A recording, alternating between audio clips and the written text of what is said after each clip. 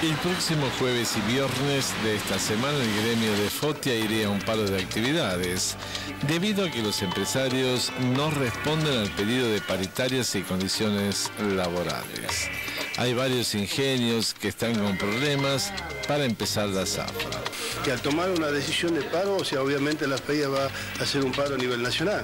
Eso es lo que este, le estaba comentando yo a Roberto. Entonces esa decisión que la tenemos cuando nos sentemos comenzar esta semana y decir, bueno, vamos al paro, la FEIA va a hablar de un paro nacional, porque como le digo, hay sindicatos que se han adherido, que están dentro de nuestro consejo directivo, en el cual me toca eh, este, en estos cuatro años dirigir.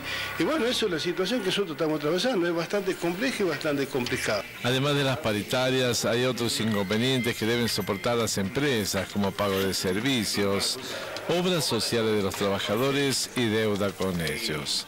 Por eso es muy importante sentarse a resolver estos problemas cuanto antes. Porque no nos podemos siquiera sentar a conversar con respecto de tema, salario y condiciones de trabajo.